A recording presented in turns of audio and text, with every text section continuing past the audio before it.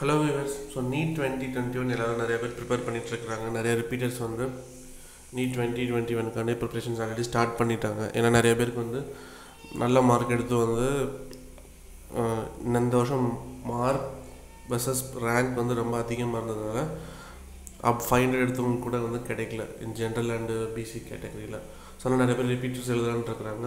So அவங்களுக்குலாம் வந்து என்னென்னா ஒரு குட் நியூஸ் என்னென்னு பார்த்தீங்கன்னா ஏன் சார் நான் ஒருக்கு தான் எழுதணும்?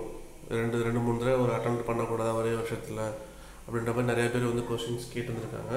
நம்ம எஜுகேஷன் மினிஸ்டர்ஸ்ட்ட ஏன் அந்த கொஷின்ஸ் ரைஸ் ஆச்சு அப்படின்னு பார்த்தீங்கன்னா ஜேடபிள்இ joint entrance examination for engineering and அந்த மற்ற அலைடு கோர்சஸ் லைக் நாட்டா அந்த மாதிரிலாம் வந்து ஒரு வருஷத்துக்கு ரெண்டு மூணு தடவை எழுதிக்கலாம் அப்படின்ற மாதிரி அந்த அப்டேட் கொடுத்துருந்தாங்க. ஸோ அதை பேஸ் பண்ணி ஏன் நீட்டுக்கும் அந்த அப்டேட் தரக்கூடாது? அப்படின்ற மாதிரி நிறைய பேர் வந்து அந்த கொஷின்ஸ் ரைஸ் பண்ணியிருந்தாங்க. ட்விட்டர்லேயும் நிறைய பேர் போஸ்ட் பண்ணியிருந்தாங்க. ஸோ அதுக்கு வந்து மினிஸ்டர் மினிஸ்ட்ரி ஆஃப் எஜுகேஷன் வந்து என்ன சொல்லியிருந்திருக்காங்க அப்படின்னா செக் பண்ணிட்டு நாங்கள் சொல்கிறோம் வில் கன்சிடர் திஸ் ஸோ இதனால் என்ன அட்வான்டேஜஸ் பார்த்தீங்கன்னா ஒரு வருஷத்தில் வந்து ரெண்டு தடவை வந்து நீட் எக்ஸாம்ஸ் கண்டக்ட் பண்ணுவாங்க. ஸோ நீங்கள் மிட் ஒரு ஆறு மாதத்துக்கு ஒரு கண்டக்ட் பண்ணுறப்ப நீங்கள் ரிப்பீட்டர்ஸாக இருந்தீங்கன்னா நீங்கள் அட்டன் பண்ணி பார்த்துட்டு உங்களோட மார்க்ஸ் தெரிஞ்சிடும் ஸோ உங்களை இம்ப்ரூவ் பண்ணுறதுக்கும் ஒரு ஈஸியாக இருக்கும். அதே மாதிரி ரெகுலர்ஸில் இருக்கிறவங்களுக்கும் வந்து அவங்களுடைய எஜி எலிஜிபிலிட்டியை டெஸ்ட் பண்ணுறதுக்கு அவங்களுக்கு எவ்வளோ ப்ரிப்ரேஷன்ஸ் தேவைப்படுது நம்ம இன்னும் ஹார்ட் ஒர்க் பண்ணணுமா அப்படின்றத வந்து நீங்கள் செக் பண்ணி பார்த்துக்கிறதுக்கு ஒரு நல்ல வாய்ப்பாக இருக்கும் இது.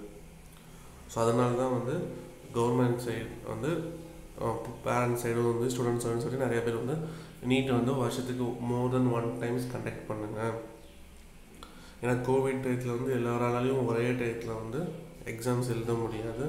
ஸோ ரிப்பீட்டர்ஸ்க்கு வந்து இது வந்து ஒரு நல்ல யூஸ்ஃபுல்லான இருக்கும். ஸோ நீங்கள் எழுதுறீங்க ஒரு ஆறு மாதத்தில் ட்ரை பண்ணி பார்க்குறீங்க எவ்வளோ ப்ரிப்ரேஷன்ஸ் நம்ம பண்ணியிருக்கோம் தேவைப்படுது. ஸ்டில் இம்ப்ரூவ்மெண்ட் வேணால் நீங்கள் ஃபர்தர் எக்ஸாம்ஸ் எழுதி இம்ப்ரூவ்மெண்ட் பண்ணியிருந்துருக்கலாம். இது வந்து நிறையா ஏற்கனவே கவர்மெண்ட் வந்து இது ஒரு கன்ஸ்ட்ரக்ஷன் இருக்குது என்ன பா என்னன்னு பார்த்தீங்கன்னா இப்போ ஜிஆர்இ ஹைலைட்ஸ்லாம் வந்து பார்த்திங்கன்னா மாதம் மாதம் நடந்துகிட்டே இருக்கும். அது வந்து ஒரு எலிஜிபிலிட்டி எக்ஸாமினேஷன்ஸ் தான். நீங்களே ப்ரிப்பேர் பண்ணுறீங்க நீங்கள் எழுதுறீங்க. ஸோ அது நீங்கள் எக்ஸாம் எழுதுலேருந்து ஒரு வேலிடிட்டி கொடுத்துருப்பாங்க. அந்த வேலிடிட்டி வரலாம் செல்லுபடி ஆகுன்ற மாதிரி. நமக்கு தெரியும் நீட் வந்து ஒன் இயர் தான் வேலிடு ஸோ அந்த வேலிடிட்டி மேபி இன்க்ரீஸ் பண்ணலாம் இல்லை டிக்ரீஸ் பண்ணுறதுக்கு வாய்ப்பு இருக்குது. இல்லை ஒன் இயர் தான் மெயின்டைன் பண்ணுறாங்கன்னா நீங்கள் இப்போ செப்டம்பர் எழுதுறீங்கன்னா அடுத்து ஏப்ரலில் வந்து நீங்கள் அந்த மார்க் வச்சு நீங்கள் ஜாயின் பண்ணிக்கலாம். ஸோ இப்படி இப்படி பண்ணுறதுனால வந்து மோர் நம்பர் ஆஃப் ஸ்டூடெண்ட்ஸ் வந்து நல்ல குவாலிட்டி டாக்டர்ஸ் வந்து கிடைப்பாங்க. பட் ஒரு டிஸ்அட்வான்டேஜ் என்னென்னா மார்க் வெர்சஸ் ரேங்க் வந்து ரேஷியோஸ் வந்து அதிகமாகிட்டே போகும். ஸோ அபோவ் சிக்ஸ் ஹண்ட்ரட் வந்து நிறைய பேர் இருப்பாங்க. அப்போ நீங்கள் வந்து நிறையா படித்து சிக்ஸ் ஹண்ட்ரடுக்கு மேலே எடுத்தால் தான் வந்து நீங்கள் ஒரு எம்பிபிஎஸ் ஸ்கோர் பண்ணுற மாதிரி நிலைமைக்கு தள்ளப்படுவீங்க. ஸோ வில்லேஜ் சைடு சப்பர்பன் சைட்ஸில் இருக்கிறவங்களுக்குலாம் வந்து அவ்வளோ ஸ்போர்ட்ஸ் பண்ணுறது வந்து ஒரு ஈஸியான டாஸ்க் கிடையாது. ஸோ அப்படின்றப்ப ஸ்டில் அது வந்து அவங்களுக்கு வந்து ஒரு பேர்டனாக இருக்கும்.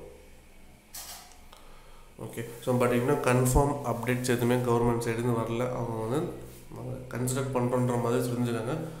So will wait for more updates from the government side so நன்றி வணக்கம்.